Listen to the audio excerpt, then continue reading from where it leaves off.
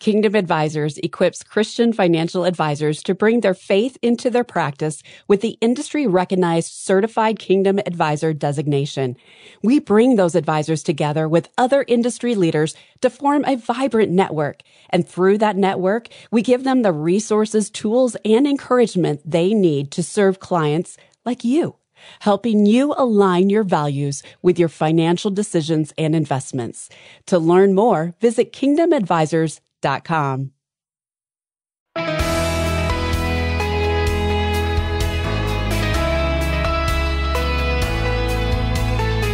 New data shows that it still pays to get a college degree, depending on your major. Hi, I'm Rob West. While it's generally true that higher education pays off, it's by no means a guarantee. You've got to plan ahead to make sure your degree jumpstarts a successful career. We'll talk about that first today, and then it's on to your calls at 800 525 7000. That's 800 525 7000. This is Faith and Finance, biblical wisdom for your financial decisions.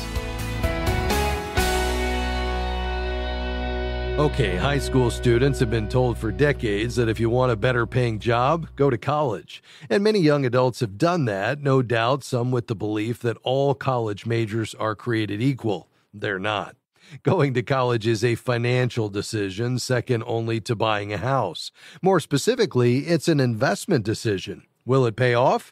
Well, perhaps the most important factor determining that is whether you graduate with a degree. Fail to do that, and any money you spend or borrow for college will likely be money down the drain in terms of future earnings.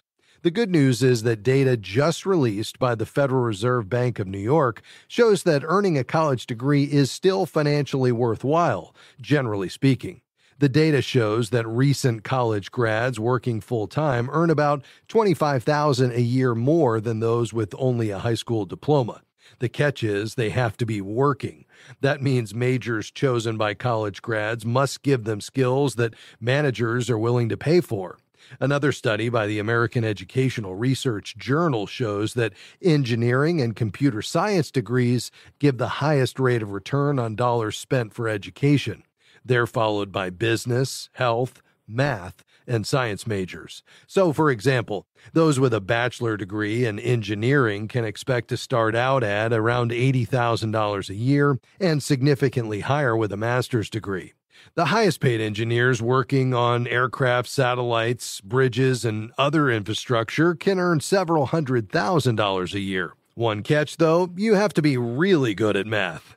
Meanwhile, computer systems managers make on average a bit over $140,000, but can earn significantly more than that depending on the level of complexity and responsibility with the job. The study also showed that education, humanities, and arts majors ranked the lowest in return on investment. Now, to be clear, we're not telling you to avoid those fields if that's where your passion lies. But college is expensive, and it's important to know the earning potential of any major you're considering, especially if you're borrowing to attend college.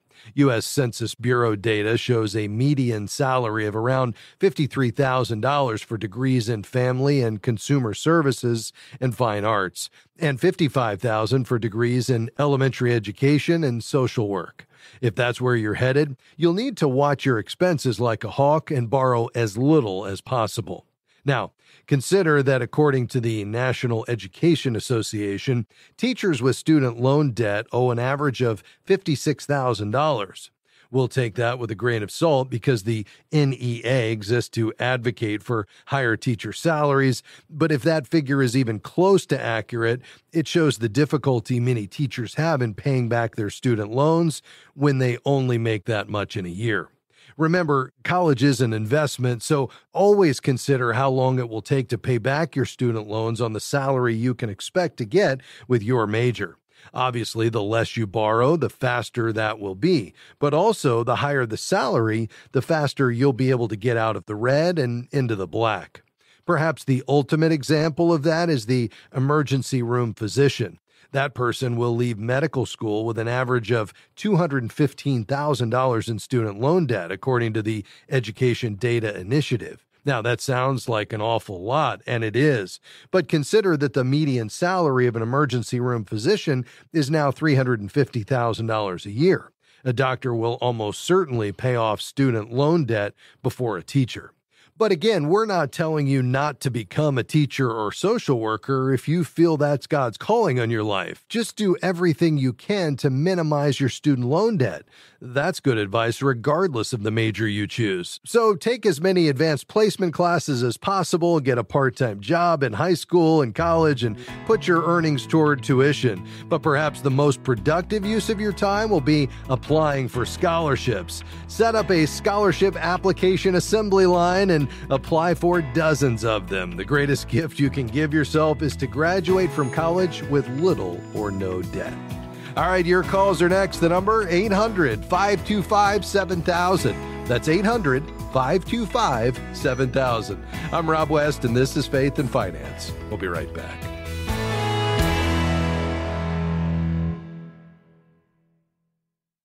We're grateful for support from Guidestone, whose diversified suite of investment solutions align with Christian values to create positive change in the world. More information is available at guidestonefunds.com/faith. Investing involves risk, including potential loss of principal. Carefully consider the investment objectives, risks, charges, and expenses of Guidestone funds before investing. They're distributed by Foreside Funds Distributors LLC, which is not an advisory affiliate, a registered investment advisor, nor do they provide investment advice. We are grateful for support from Sound Mind Investing in the Faith and Finance program. For more than 30 years, they've been helping Christians reach their financial goals with step by step guidance for investors at every stage, from those just getting started to those getting ready for retirement. Through scriptural principles and practical suggestions, SMI offers financial wisdom for living well. More information, including the short video webinar on profit and peace of mind, no matter what's happening in the market, is available at soundmindinvesting.org.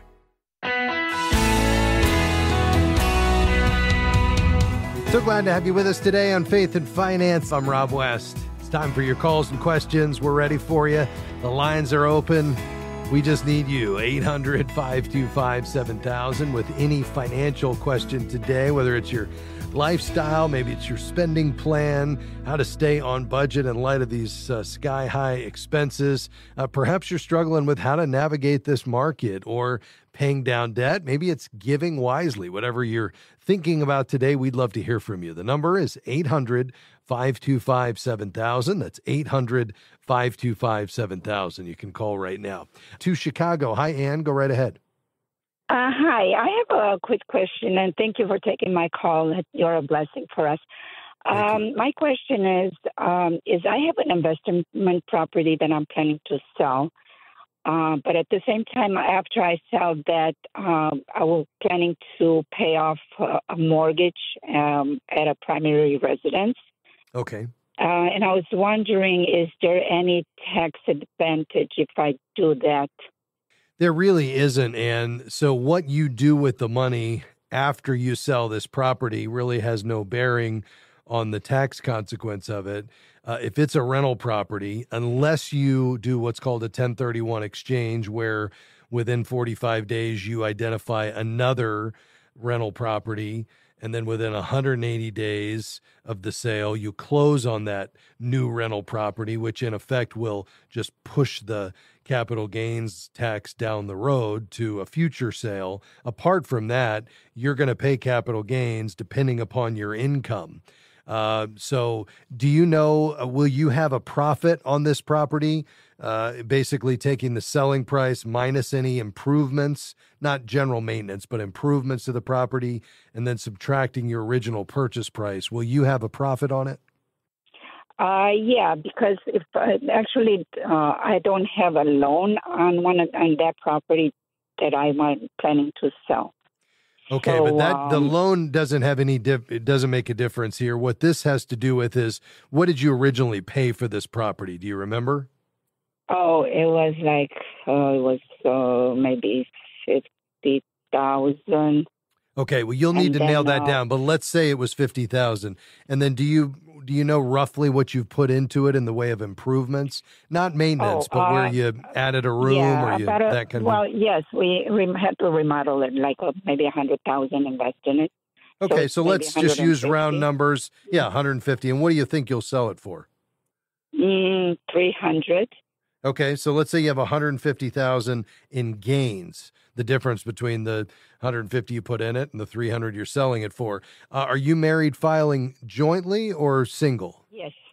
Jointly. jointly. Okay. And is your income, not the sale price or the profit, but your income, your adjusted gross income, is it somewhere between 44, well, excuse me, for married filing jointly, somewhere between 89,000 and 500,000 or is it below 89,000? It's uh, maybe 80. Okay. If you're under 89,250, uh, and that was the 2023 number. It's a little higher for 2024. Your capital gains rate is zero. You have to get above $89,250 in the form of income before you have to pay capital gains based on the current capital gains rates. Um, so if you're under that, you wouldn't have any capital gains. If you're above it, then you would. And that first bracket between 89,000 and 550,000 is 15%. But it sounds like you may not even have that. And what you do with the money, whether you take it and you give it away or you put it in your checking account or you invest it, has no bearing on whether or not you owe capital gains tax. Does that make sense? Okay. But um, so, in other words, if you if I sell a property and get a you know like two hundred thousand dollar uh, profit on it, I would have it would be best for me also to just invest it, like roll it over to another property. Well, uh, yeah. So it really comes down to what is the best investment for you and your husband, given your goals and objectives. I wouldn't let the taxes determine that. If you plan to continue being a landlord and investing in real estate, then it would make sense for you to comply with what's called the 1031 exchange. And then if you had any capital gains, you could push it forward. But it sounds like based on the fact that you have less income than 89,250 as a couple married filing jointly, your capital gains rate is zero. So you can take that property, sell it, not pay any capital gains, and then you decide do we want to put it in another property? Do we want to invest it? Do we want to shore up our emergency fund? It's completely up to you. I hope that helps you, Ann. Thanks for your call today. Uh, let's go quickly to uh, St. Louis. Maureen, go right ahead. Thank you, Rob. Uh, I'm 71, um, still working. Um, I'm a widow. I have my husband's pension and so my own Social Security I'm drawing. And so I'm in a good place with uh, income. I'm trying to play catch up on retirement to prepare for retirement. And I max out my 401k and I'm doing fine there. My question is about IRAs.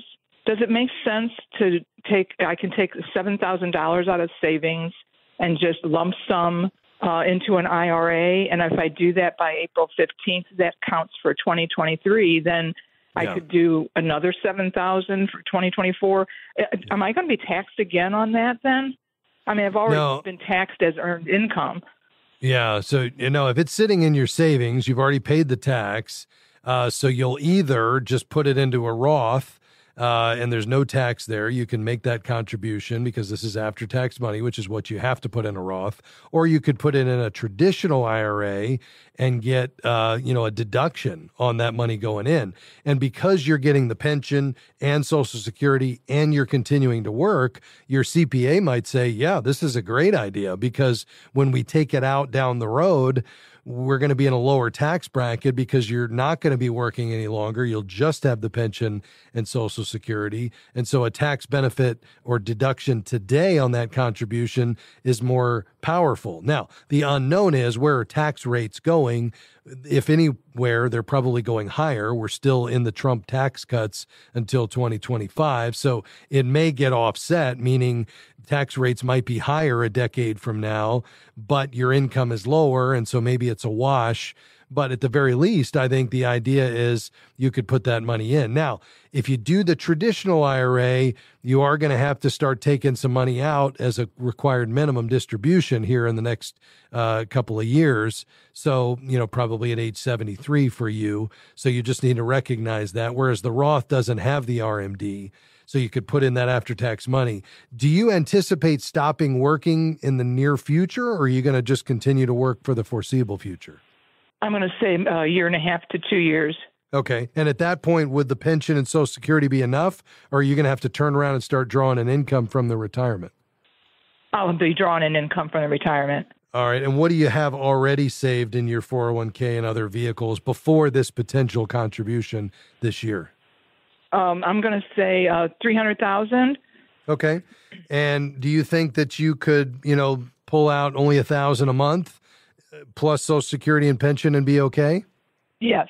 Yes. Okay. Well, so you're fine on that 3,000, 300,000. So I'd probably put it in the Roth if you're feeling like you need more and that way you don't have the required minimum. You don't get the deduction, but you can invest it and let it continue to grow and just be a part of that 300,000 that's growing for your future. That'd be my suggestion, but it sounds like you're doing great, Maureen. I love that you've continued to work and save, and I think you're going to be in great shape. Thanks for your call today.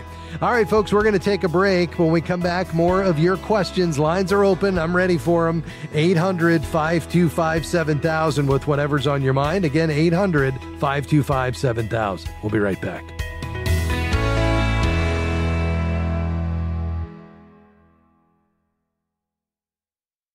As a faithful listener of this program, you know that there's life changing financial wisdom in God's Word, and FaithFi is here to help you and millions of others learn to be good and faithful stewards. As a nonprofit organization, we rely on help from monthly FaithFi patrons, supporters of this mission, to help us continue and expand our outreach. Has God provided financial answers for you through this ministry? If so, consider becoming a monthly FaithFi patron. Visit faithfi.com and click Give. As the leading advocate for the Christian financial industry, Kingdom Advisors serves the public by promoting the integration of a biblical worldview across every aspect of the financial services industry. And we serve a growing network of thousands of Christian financial professionals, equipping and empowering them to carry biblical financial wisdom to their clients, peers, and community. For more information, visit kingdomadvisors.com. That's kingdomadvisors.com.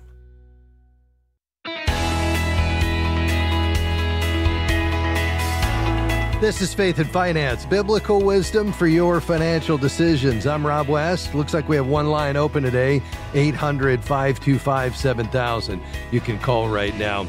Uh, let's head to Canada, Northern Alberta. Hi, Christy. Go ahead. Hi, Rob.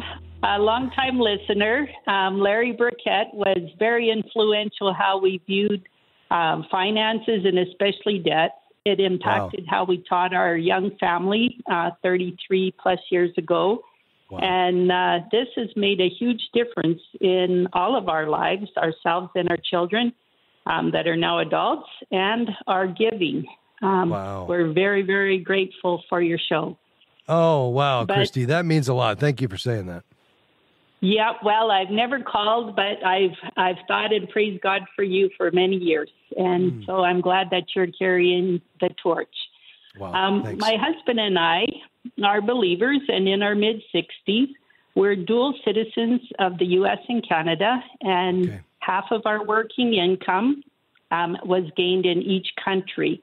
Uh, where we own and operate a farm and have for 40 years. Um, there's no successor in view right now. Um, we want to continue uh, to farm as long as our health allows.